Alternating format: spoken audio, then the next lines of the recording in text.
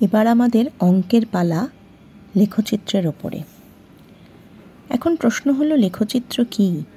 লেখচিত্র হলো একটা জ্যামিতিক চিত্র।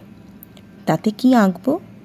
তাতে আঁকবো যে বীজগণিতের আকারে দেওয়া সমীকরণটি আছে, তাকে আঁকবো।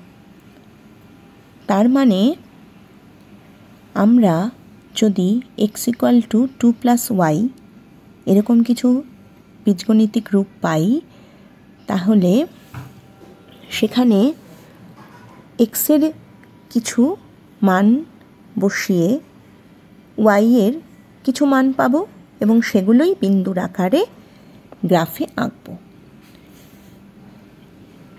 এখন একটা রৈখিক সমীকরণের গ্রাফ বা লেখচিত্র সবসময় দেখবে একটাই সমতলে থাকে।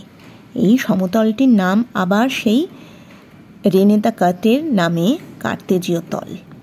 এখন একটা কথা মাঝে মাঝেই দেখতে পাও, সেটা হলো একচল না দুচল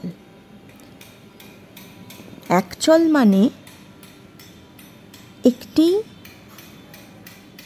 আননোন, একটি অজানা কোনো ভ্যারিয়েবল, যেমন এক্স আর দুই চল মানে এক্স ওয়াই দুটো। তো আমরা এখানে যেটা করব, সেই সমীকরণগুলো হলো দুই চল বিশিষ্ট মানে এক্সও থাকবে ওয়াইও থাকবে। আর তারা এক ঘাত বা রৈখিক। কেন?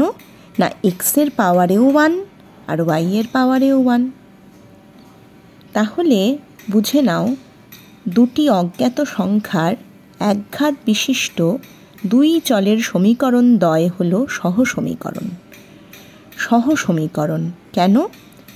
একটা ইকুয়েশান বা সমীকরণ পাবে এক্স ওয়াই দিয়ে, আবার একটা ইকুয়েশান পাবে একই সাথে অঙ্কে দেওয়া শর্ত অনুসারে আবার ওই এক্স ওয়াইকে নিয়ে।